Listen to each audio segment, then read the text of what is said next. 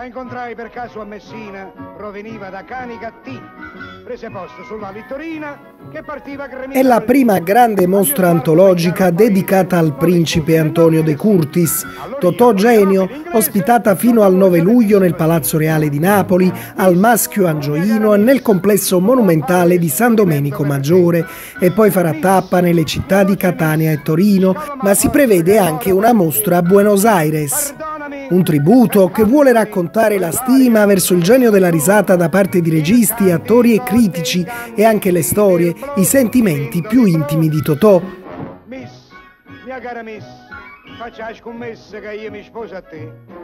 Il frutto di questo lavoro raccontato da Alessandro Nicosia, curatore insieme a Vincenzo Mollica.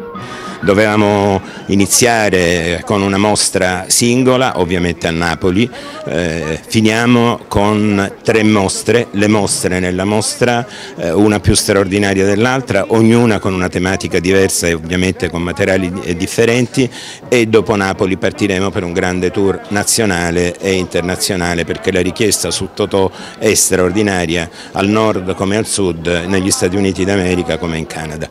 Um, tutto questo secondo me nasce per la grandissima disponibilità eh, che istituzioni pubbliche eh, piuttosto che fondazioni, piuttosto eh, che collezionisti privati eh, ci hanno dato tirando fuori materiali eh, che eh, non si erano mai visti, moltissimi inediti. E da questa grande disponibilità è nato questa raccolta di disegni piuttosto che di scritti, piuttosto che di testimonianze testimonianze filmate eh, che messe insieme con una metodologia espositiva ovviamente ci consentono di fare una mostra unica, mi permetto di dire eh, irripetibile. Un tributo che la città e il mondo del cinema fanno al principe della risata nell'anno che celebra i 50 anni dalla sua morte, intervenuta la nipote di Totò, Elena Anticoli de Curtis. Totò torna a casa, Totò, beh, Totò è sempre stato a Napoli perché insomma, la, la sua ultima dimora se l'è scelta ancora prima di morire, per cui diciamo, lui per Napoli ha sempre avuto questo grande amore. Con questa mostra si corona suo, questa storia d'amore tra Totò e Napoli.